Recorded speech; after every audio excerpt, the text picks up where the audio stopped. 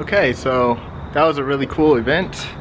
Um, you know what, rather than explaining it, I will have somebody else explain it. So what's going on here, Kelly? Uh, it is the GPAC Artist Info session. So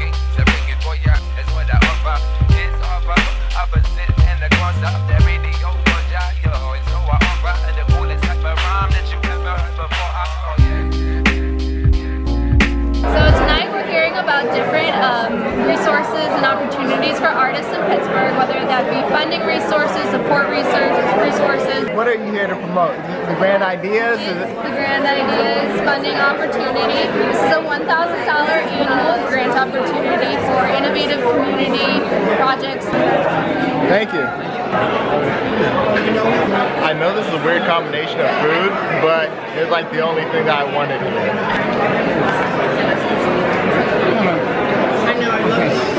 cold? Are those, are these cold?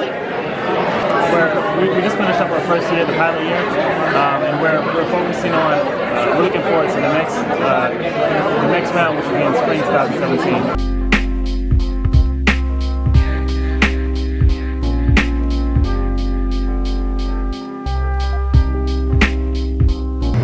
And that was that.